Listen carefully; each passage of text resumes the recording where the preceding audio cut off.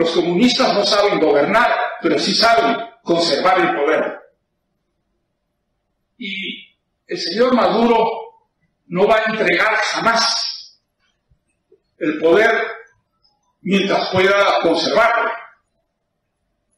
Y no hay que engañarnos. Ese poder que estaba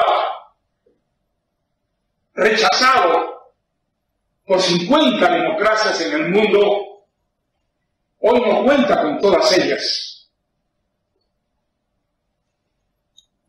Esa es quizá la tristeza mayor que despierta en nosotros Venezuela.